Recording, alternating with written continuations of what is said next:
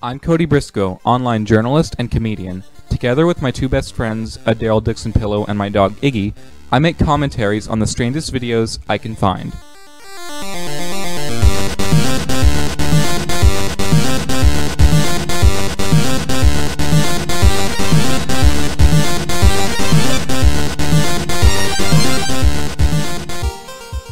Welcome to this week's commentary.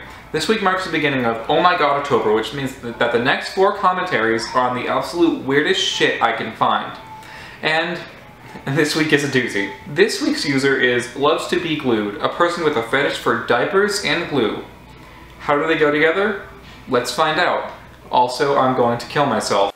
Liquid hide glue is one of the strongest glues on the market. I should preface this by saying that this person uses a voice filter, so you don't really know what they sound like, and their voice sounds like some weird Disney character. Oh god, why am I doing this? It's got a strong permanent bond. I'm so sorry. Once the objects are stuck, the glue, the glue, He's getting so into this, I hate it. won't let the objects go. In this case, the objects to be glued is my butt and the chair.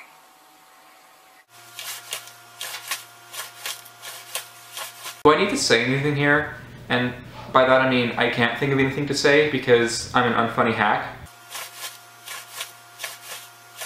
He looks exactly like you think he would with like the weird model cars on the old wooden shelf.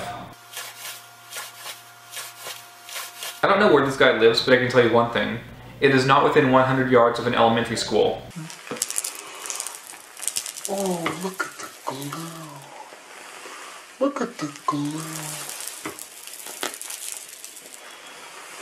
Glue's made of horses. Did he just say the glue is made of horses?